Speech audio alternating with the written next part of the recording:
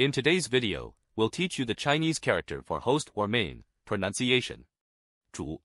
This is a fun character in the Chinese language because the character 主 looks like an old man acting like a lord.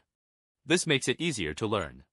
In compound form, 住 can be found in words such as reside, 注, focus, 柱, and pillar, 主. This makes it important to learn. Now let's see some examples. 主人 master, host, or owner. 主义 doctrine or ideology. 主席 chairperson. 主题 theme or subject. 主编 chief editor.